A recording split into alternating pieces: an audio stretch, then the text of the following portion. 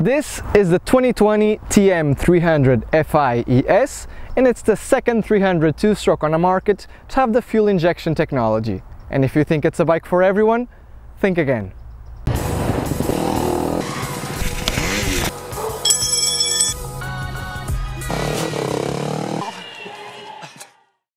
Just take a second to appreciate the craftsmanship of this bike.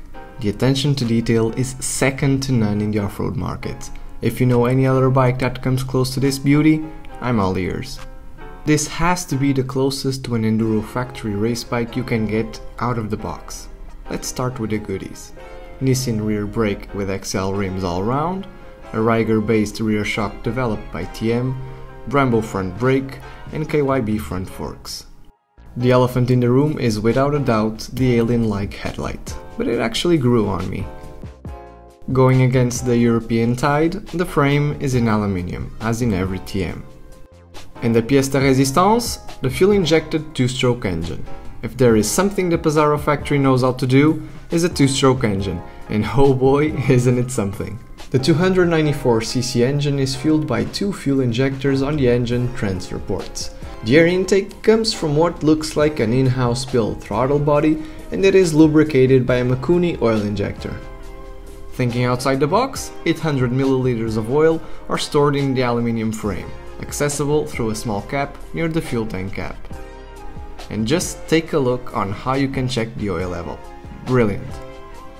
But enough talking, let's take this powerhouse for some special test riding. I rode the bike in stock form. The suspensions only suffered some click adjustments to suit the owner's needs and actually suited me quite well as well. I understand why top enduro riders like this kind of frame.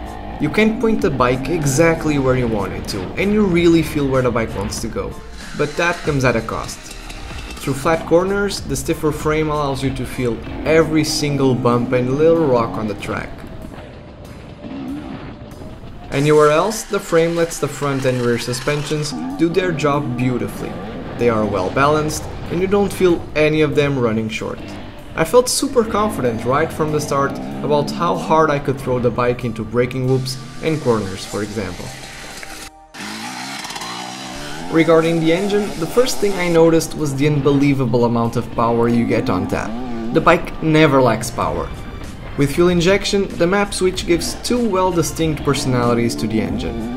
The wet map makes the bike a complete tractor. The amount of torque you have in the low rev range is absolutely insane.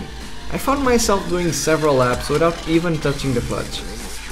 With a dry map, you better know what you're doing on higher RPMs. The power seems endless. The more you want it, the more it provides.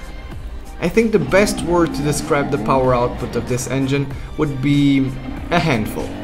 You can use the power of the bike, but damn, you need to know what you're doing. It almost feels like the bike just wants to go hard all the time. You have to be focused every single moment, or you can bet it will come back and bite you right in the ass. But what an amazing machine.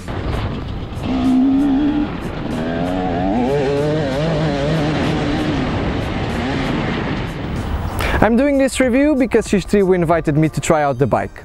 Overall, I think it's a race-focused bike, really well built, although I don't think everyone will be able to enjoy this bike to the fullest. Thanks again to Xtribo and see you on the next videos.